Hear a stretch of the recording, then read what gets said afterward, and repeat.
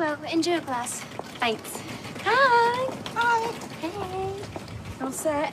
Yeah. I don't know what this is going to be like. It can only be good. How do you know? Well, mothers and babies all together mucking in. Yeah, Mum's with one baby each. They're going to look at me like I'm in some kind of freak show. Oh, no, they won't. They'll think you're really interesting. No, they'll come and have a good gawp and a snigger. Where are you getting this idea from? It's going to be a disaster. Ah, Look, we're here now, right? And they're all dressed in the Sunday best, so why don't we just head in, give it a go, and, and, listen, if it's really that bad, we can always leave.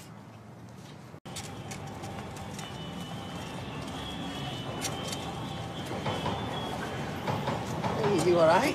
What are you lot doing back? See you here.